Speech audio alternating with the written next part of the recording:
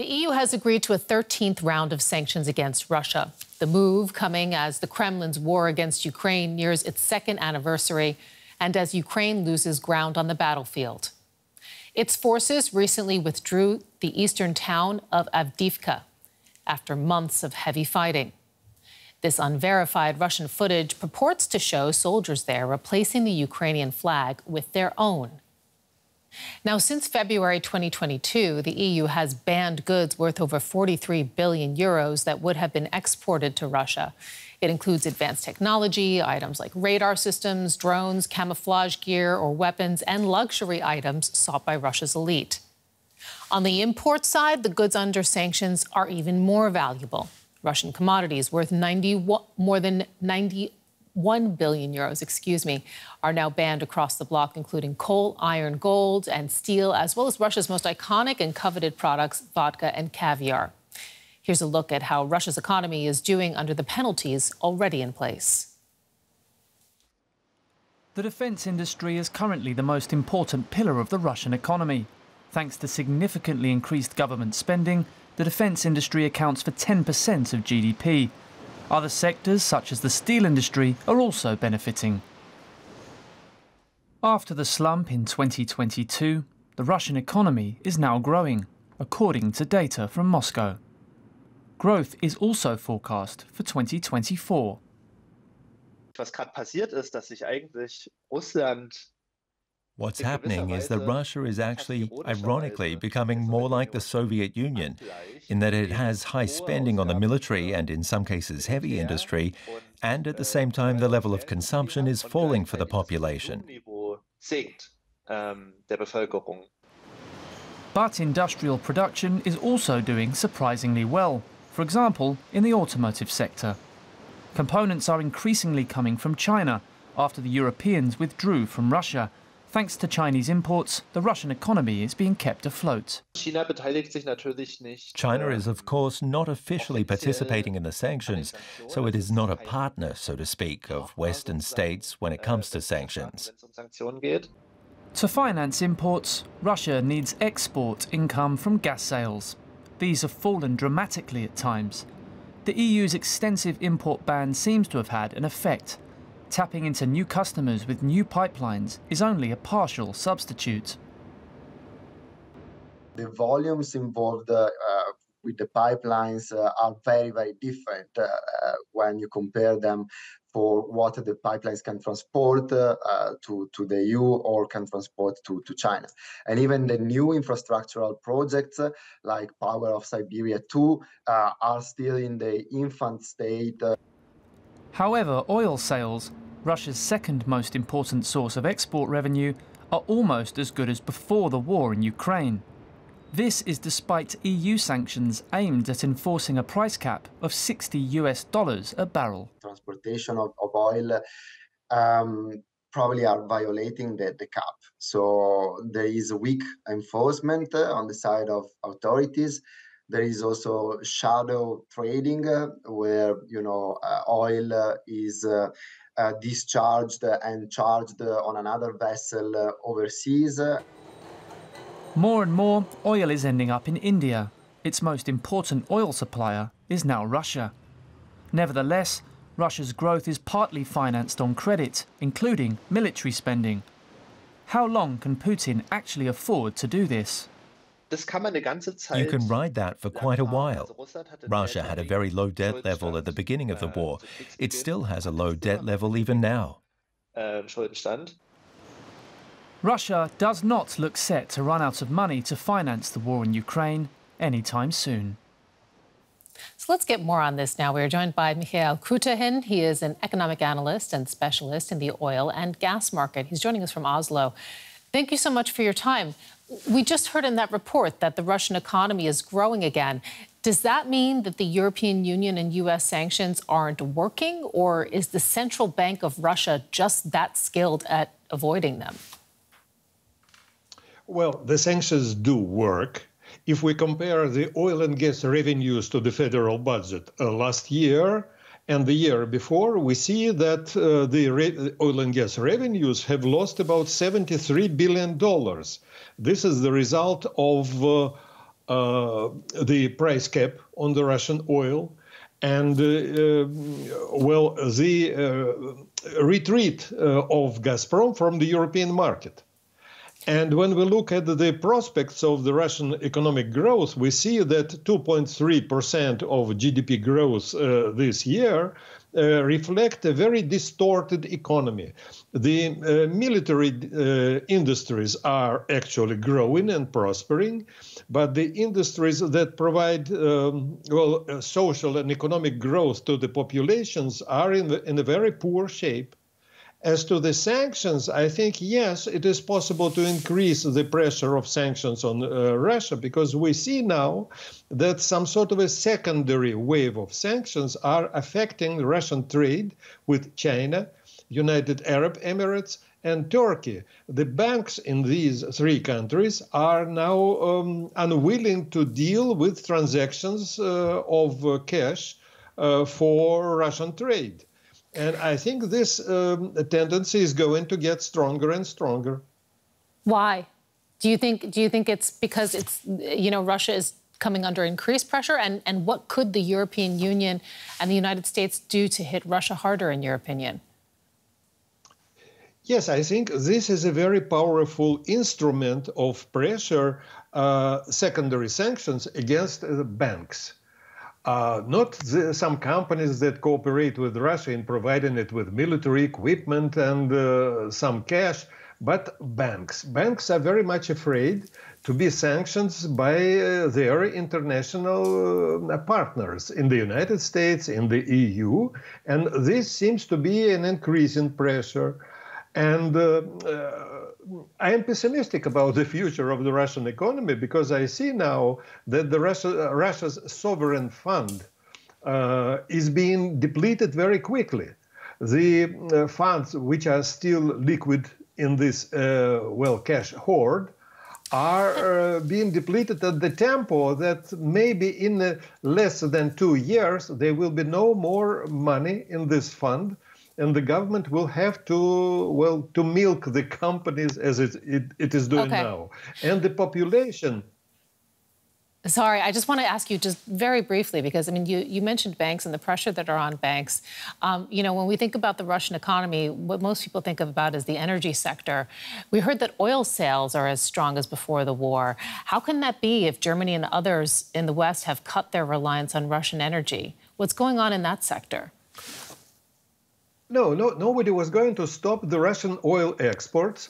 The problem was with the revenues from that export. And this is why the uh, initiators of the sanctions decided there should be a price cap on the Russian oil $60 per one barrel of Russian oil delivered by sea. And we see that uh, the first sales, uh, the Russian government receives revenues from the first sale of Russian oil. And to avoid um, this situation, Russian oil companies and some other companies decided to sell that oil. Uh, the first sale goes to, uh, well, subsidiaries of Russian companies. And then several subsidiaries and intermediaries resell that oil with profit, and the mm. profit does not go okay. into the Russian budget. Okay, we have to leave it there, unfortunately, but we thank you so much for joining us to share your expertise. Mikhail Krutikhin speaking with us from Oslo. We appreciate it. I'm joined now by Professor Jeffrey Sonnenfeld. He's the Senior Associate Dean at the Yale School of Business Management. Professor, it's good to have you with us. I, I, I want to start by just asking you is this the needed response to a war in Ukraine that is now entering, or about to enter its third year? And that comes on the heels of the death of Alexei Navalny? Uh, yes, uh, great question, and tragically, great timing for your great question. It is needed. Uh, we've had various warning shots over the bow of increasingly stiff sanctions, and yet there's still more that has to be done. We alone had a lot to do with catalyzing the historic exit of 1,200 major uh, multinationals uh, to leave Russia. That's six times the retreat from South Africa in protest of the apartheid regime. And there are all kinds of sanctions, of course, we, as we know, in financial sector and some other sectors, but there's not enough. Um, and this is, uh, I think, going to be very effective. The, the oil price caps were we're pretty strong, but this will do even far more. Professor, you know, you, you, will certainly understand there is a level of cynicism, though, among the public. Um, this is the 13th round of sanctions that the European Union has slapped um, against Russia. How many rounds of sanctions uh, will it take to get the desired outcome? Well, it'll take a lot more, and it isn't like giving one weapon system uh, either is going to do it. So please, uh, I hope our any cynical viewers keep in mind that uh, the uh, Leopard's tanks uh, from you folks or the Abrams tanks from here aren't going to do it alone. The HIMARS systems weren't going to do it alone. The the F-16s weren't going to do it alone. Uh, the, uh, the, the various uh, kinds of Patriot missile systems and things provide protection and defense. But just like we need multiple weapon systems, and now they're short on artillery, we also need a lot tighter sanctions. The sanctions have been very effective. What your viewers have to understand is Putin is concealing his economic statistics from the International mm-hmm. Monetary Fund, from the IMF. Their own economists have told us at the IMF, and we have it recorded, that they mm-hmm. don't know how how Putin how the Russian economy is doing. They're only taking his made up propaganda, his statistics, and repackaging it. And Putin wakes up in the morning and comes up with a fake GDP. The Russian economy is hemorrhaging.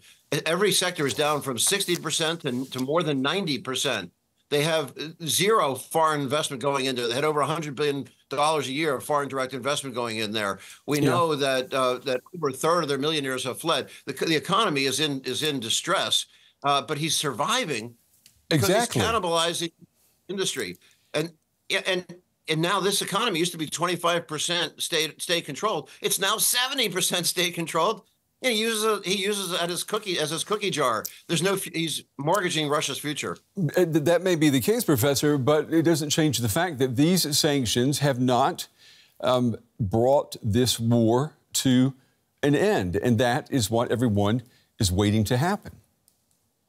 Well, they, they need even more. There are chips that get through. Uh, there are military grade trips, uh, chips that uh, even an ambassador from just between we friends, Uzbekistan, admitted to us directly, uh, gets basically taped onto uh, refrigerators and uh, and microwave ovens as household appliances that get imported into Russia that are actually harvested and used for military grade uses. There, there are chips coming through Russia, chips coming through China, and those have to be tightened we they uh, the oil sanctions. Uh, Russia is not making money on oil. You hear about a volume of oil. Their their profits are, are have plunged. In fact, they're they're producing at break even levels. Mm-hmm. And the, today's Financial Times reports what we said would happen two years ago, which is that Gazprom is basically uh, is, uh, uh, um, virtually out of business. Nobody can buy their gas. Right. The, you guys don't need it. The EU needs none of it, and he can't pivot and sell it to Asia. But there is still some slippage. We have uh, aluminum is being bought. We have billions of dollars of aluminum, $10 billion of aluminum being bought by uh, the EU.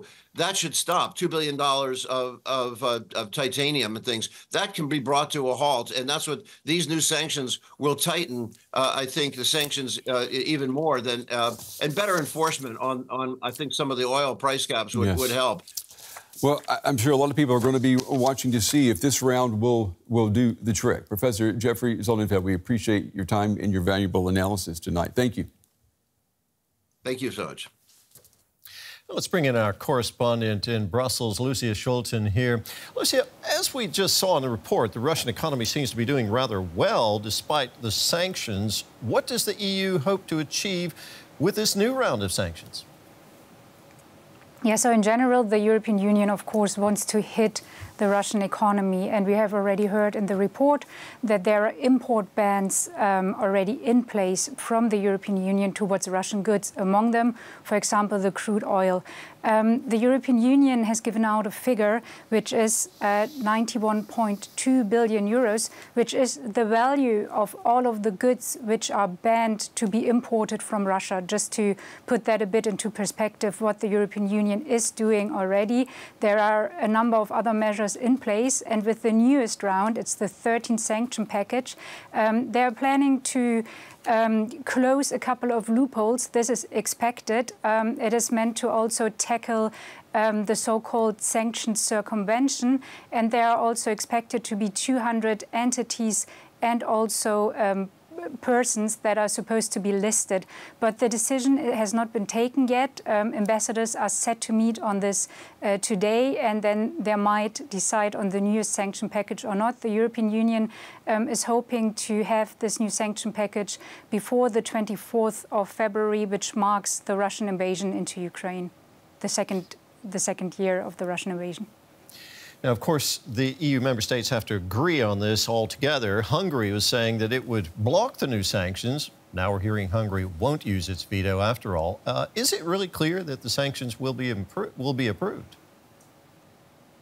Yeah, nothing is agreed until it is agreed. Of course, this is uh, one of the things that we hear a lot here in Brussels, so we will have to wait for the outcome of today. We have heard from Hungary in the past that they would uh, like to analyze the 13 sanction package, and now they have declared um, that they will not block it, even though they're still against sanctions. We have heard from the Foreign Minister Peter Szijjártó that he thinks that um, sanctions hurt the bloc's economy, but that they won't veto it.